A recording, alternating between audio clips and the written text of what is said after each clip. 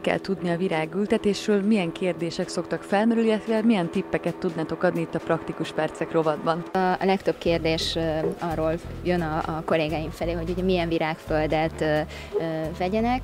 Mm, mi mindig megkérdezzük, hogy mihez szeretnék használni itt a, a virágföldet, muskátlihoz kifejezetten, vagy pedig más kerti növényekhez, vagy szobanövényekhez. Nagyon-nagyon nagy a választék, kiszerelésben is, meg minőségügyileg is. Mi azt mondjuk, hogy ha valaki tipikusan, ugye most szezonja van a muskátliknak, ezt szeretné, hogyha elültetni, akkor mindenképpen a kifejezetten az ehhez való virágföldet használja, és amit még elmondanak a kollégáim, hogy nagyon-nagyon sokféle balkonláda van, azt a balkonládát célszerű használni, amelyikben van egy kis vízadagolós rész az alján, mert a növényeknek sokkal-sokkal nagyobb biztonságot nyújt az, hogy nem csak néha atrok jelleggel öltözzük, hanem onnan tudják felszívni a, a nedvességet és a tápanyagot a virágföldből. My Rocky Mountain, waiting for me, tapasztalat egyébként, hogy mindegy az, hogy milyen távolságra ültetjük egymástól a növényt, vagy ez is fontos és meghatározó, hogy ne legyen túl zsúfolt mondjuk?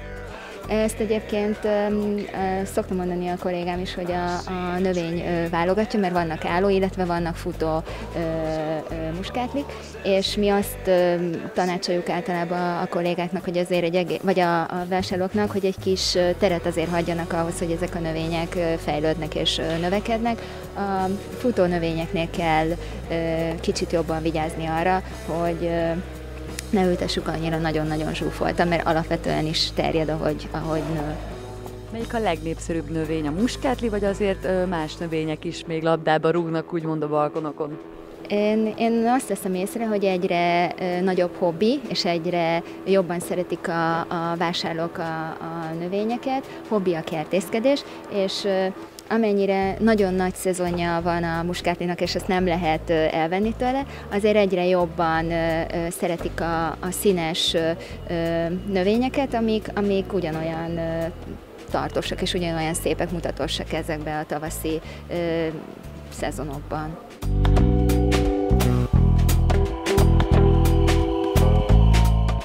Azt említettük, hogy nem mindegy, hogy milyen balkonláda, nem mindegy, hogy milyen virágföld. Van esetleg még valami plusz, amit tehetünk azért, hogy szépek legyenek a növények, esetleg tápszer vagy oldat, amivel locsolni lehet őket?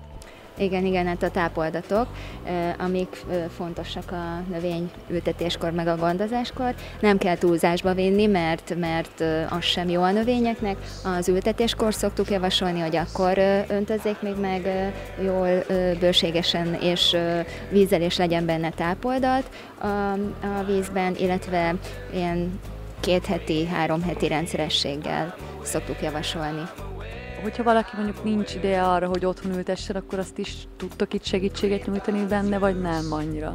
A tavalyi évben volt egy ilyen akciónk, hogy ö, ö, vásároltak virágföldet, balkonádát, és, és ö, kiválasztották a, a növényeket.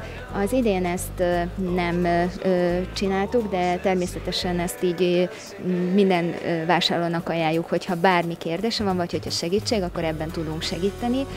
Azt veszük észre, hogy aki megveszi a virágot, megveszi a, a, hozzá a virágföldet, illetve a balkonládát, szerintem egy picit a szívét is beleadja, és nagyon szereti inkább ő maga elültetni, de nagyon szívesen, tehát minden tévénézőnek felajánljuk azt, hogyha bármi ilyen problémája van és segítség kell, akkor ezt itt mi megcsináljuk.